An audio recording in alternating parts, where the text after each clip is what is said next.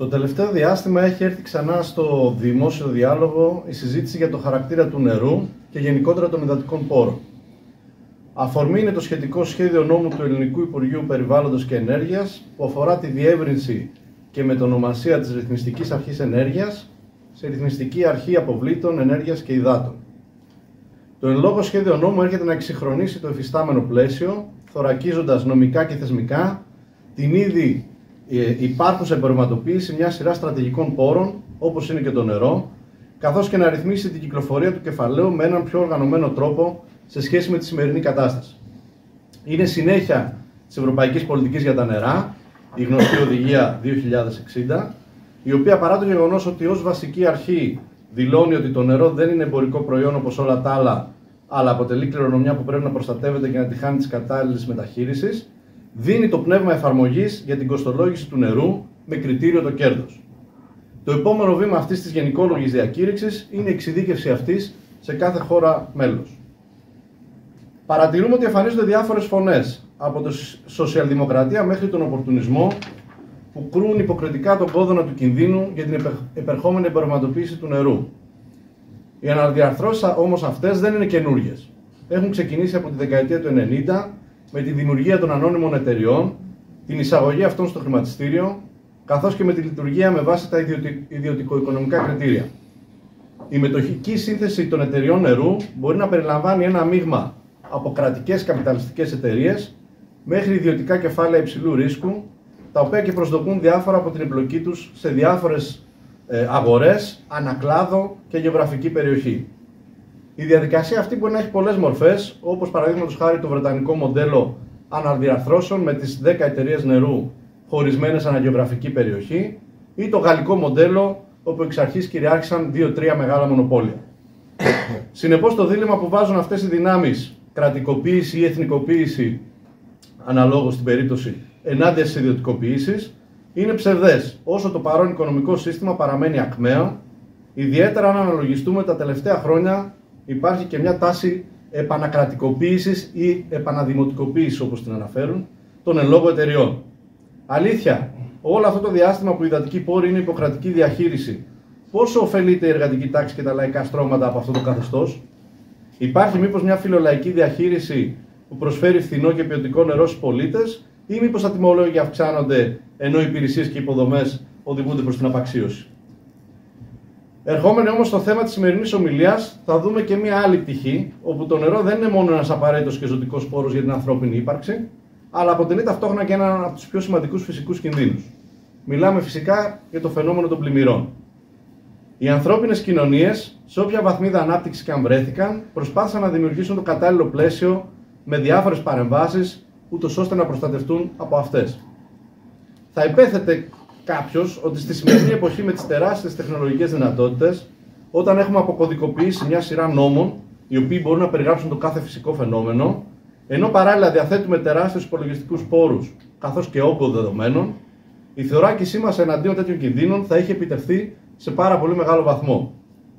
Φανταστείτε να λέγαμε σε κάποιον άνθρωπο της δεκαετίας του 30, όταν και κατασκευάστηκαν μια σειρά μεγάλων έργων υποδομών, όπως είναι τα φράγματα ή τα έργα διευθέτησης των ποταμών, ότι μετά από 100 χρόνια, σε πρωτεύουσα κράτους μέσης ανάπτυξης, θα έχουν παγιδευτεί μαθητές σε σχολείο που έχει πλημμυρίσει και οι οποίοι τελικά απεγκλωβίστηκαν με αυτοσχέδια μέσα. Θα μας έλεγε τουλάχιστον απεσιόδοξους. Τι συνέβη όμως και όλες αυτές οι παραγωγικές δυνατότητες δεν μπορούν να χρησιμοποιηθούν στο σήμερα. Το παρόν οικονομικό σύστημα έχει φτάσει σε ένα οριακό σημείο. Ενώ οι δυνατότητες της εποχής είναι τεράστιες, η ατομική ιδιοκτησία στα μέσα παραγωγής, η ιδιοποίηση των κερδών από την αστική τάξη και η πτωτική τάση του μέσου ποσοστού κέρδους για τους καπιταλιστές φρενάρουν την πρόοδο. Ήταν πολύ χαρακτηριστική η αυθόρμητη λαϊκή αντίδραση μετά το έγκλημα στα Τέμπη. Πώς είναι δυνατόν να παρακολουθώ σε πραγματικό χρόνο την πορεία του διανομέα όταν περιμένω φαγητό απ' έξω και να τρακάρουμε τοπικά δύο τρένα εν έτη 2023. Αναρωτήθηκε πολλοί κόσμος χωρίς να έχει εντρυφήσει και ιδιαίτερα στο μαρξισμό-λενινισμό. Και αυτό δεν έχει να κάνει με κάποιο ανίκανο κράτος, κάποιους διεφθαρμένους πολιτικούς και κάποια κακιά μοίρα που έχει πέσει πάνω από την Ελλάδα. Πολύ απλά, το αστικό κράτος είναι εξαιρετικά αναποτελεσματικό όταν έχει να κάνει με την προστασία της εργατικής τάξης και των λαϊκών στρωμάτων από φυσικά φαινόμενα και τεχνολογικά ατυχήματα, ενώ είναι εξαιρετικά αποτελεσματικό όταν έχει να κάνει με τη διασφάλιση της κερδοφορίας των μονοπωλίων, τη νομική κατοχήρωση και οργάνωση της κυκλοφορίας του κεφαλαίου, την καταστολή των όποιων φωνών αντιστέκονται. Ταυτόχρονα είναι ανίκανο να ενσωματώσει όλες τις σύγχρονες επιστημονικές εξελίξεις και ικανότατο να χρηματοδοτεί την κάθε έξυπνη ή πράσινη φανφάρα που διασφαλίζει την κερδοφορία των ομίλων. Μας επιτρέπει όμως η φυστάμενη παραγωγική βαθμίδα για να προστατευτούμε από τις πλημμύρες; Η απάντηση είναι σαφέστατα καταφατική. Ο πυρήνας της ολοκληρωμένης αντιπλημμυρικής θωράκισης είναι η ύπαρξη ανοιχτών χώρων, τόσο σε επίπεδο λεκάνης απορροής όσο και σε επίπεδο ποτάμια κήτη, και ορθολογικός πολεοδομικός σχεδιασμός, συνεπικουρούμενοι από ένα μείγμα συμβατικών κατασκευαστικών μέτρων και ήπιων παρεμβάσεων, χωρίς δόγματα και προκαταλήψεις, τα οποία είναι απότοκα της κοινωνίας του κέρδους, αλλά με κριτήριο τι κοινωνικέ ανάγκε. Η όλη αυτή λογική θα πρέπει φυσικά να συνοδεύεται και από ένα ολοκληρωμένο σύστημα διαχείρισης μιας ενδυνάμει κρίσης που μπορεί να προκύψει από κάποιο απρόβλεπτο φαινόμενο, το οποίο ολοκληρωμένο σύστημα θα έχει σημείο κίνησης την προσπάθεια έγκαιρης πρόγνωσης και προειδοποίησης και θα φτάνει μέχρι την ενημέρωση και εκπαίδευση του κοινού, καθώς και του κατάλληλου προσωπικού, για το πώς πρέπει να λειτουργήσει σε μια υποτιθέμενη καταστροφή. Τέλος, επειδή τεχνικά ποτέ δεν μπορούμε να εκμηδενήσουμε την πιθανότητα εμφάνισης πλημμύρας, αυτονόητη θα πρέπει να είναι και οι χωρίς όρους και προποθέσει ανακούφιση και πλήρης αποζημίωση των πληγέντων περιοχών, με μια υπηρεσία πολιτικής προστασίας η οποία θα εξυπηρετεί τις λαϊκές ανάγκες και δεν θα είναι ένα ακόμα κατασταλτικό σώμα. Α αναρωτηθούμε τώρα τι από όλα τα παραπάνω συμβαίνουν στο σήμερα. Το νομοθετικό πλαίσιο αντιμετώπισης των πλημμυρών εντός της ΕΕ είναι η οδηγία για τις πλημμύρες 2007-60 ως συνέχεια της οδηγίας 2060 και η συνακόλουθη κατάρτιση των σχεδίων διαχείρισης κινδύνου πλημμύρας από κάθε χώρα μέλο. Είναι ένα κείμενο που στον πυρήνα του υποδεικνύει ότι η προστασία από τις πλημμύρες περνάει μέσα από τη διαχείριση του ρίσκου και την ανάλυση κόστου-οφέλου. Επί της ουσίας έχει ανοίξει την κερκόπορτα για την ποσοτικοποίηση όλων των επιπτώσεων, η οποία μέσω της αγοράς των ασφαλιστικών εταιριών μπορεί να λάβει και τη μορφή των χρηματικών μονάδων. Και προφανώς η ποσοτικοποίηση αυτή σε ένα εκμεταλλευτικό και ταξικό σύστημα θα λάβει και τα ανάλογα χαρακτηριστικά. Αλλιώς αξιολογείται η πλημμύρα σε μια υποβαθμισμένη συνοικία και αλλιώς ένα προάστιο της αστικής τάξης.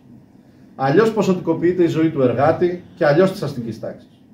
Και όσο αυτοί μετράνε κέρδη και ζημιέ για κάθε πιθανό σενάριο πλημμύρας, εμείς μετράμε ανθρώπινες ζωές και υποβάθμιση των γειτονιών μας.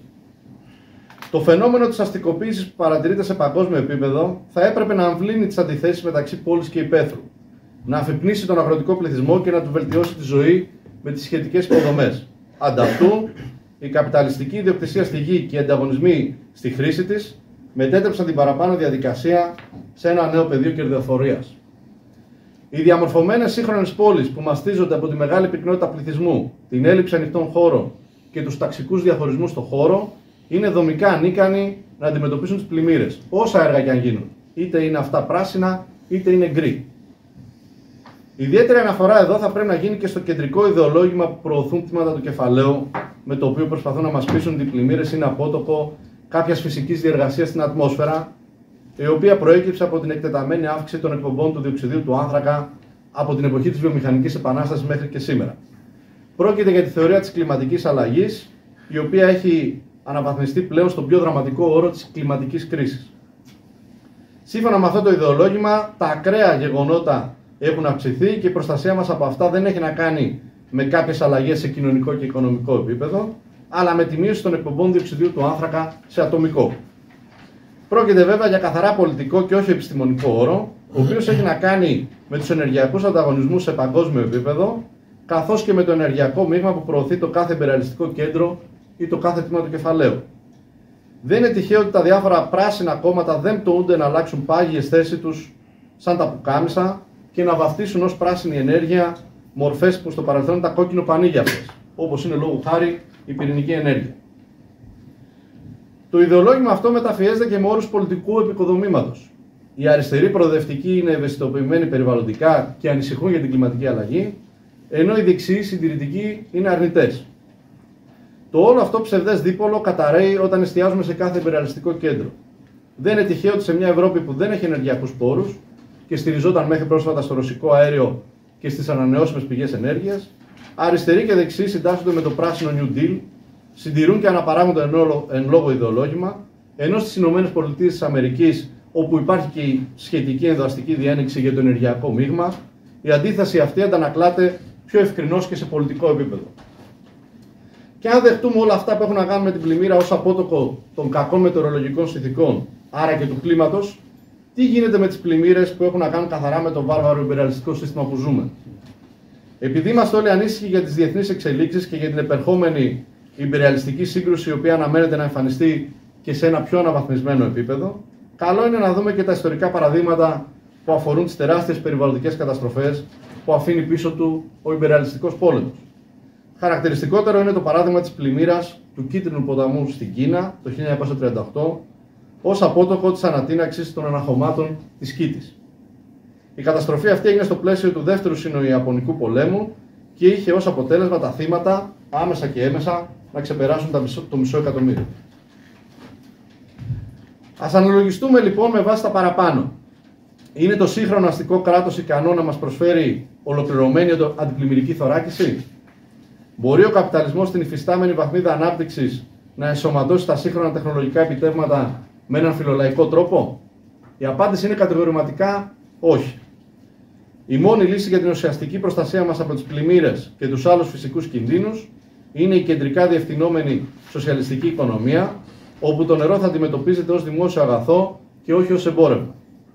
Μόνο ο σοσιαλισμός μπορεί να εξασφαλίσει έναν ενιαίο κρατικό φορέα διαχείρισης που θα εξετάζει ολοκληρωμένα τόσο το ζήτημα των υποδομών για την εξασφάλιση των πόρων, καθώς και για την προστασία μας από τα φυσικά φαινόμενα, όσο και το ζήτημα της διαχείρισης αυτών των πόρων.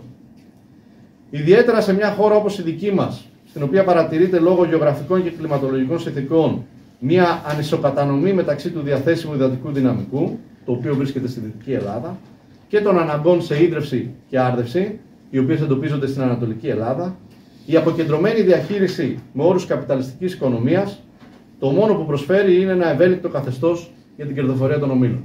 Σας ευχαριστώ πολύ.